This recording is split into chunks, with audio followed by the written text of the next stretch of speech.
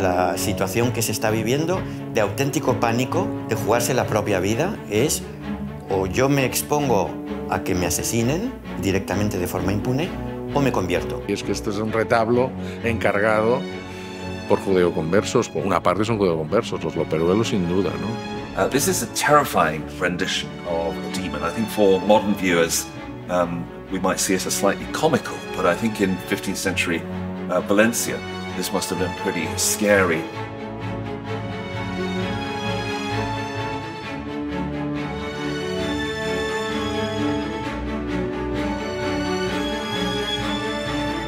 Ego Bartolomeus de Cárdenas, Víctor Cibes Civitates Valencia. And I had gone to Harvard to study medieval Spanish art.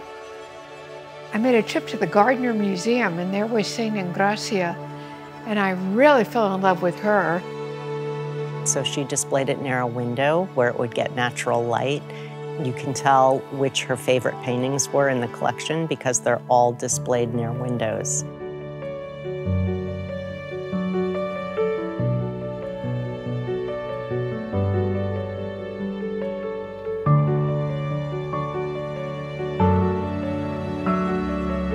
Siempre que hay letras en un cuadro son un enigma y todo el mundo queremos saber qué es lo que transmiten esas letras.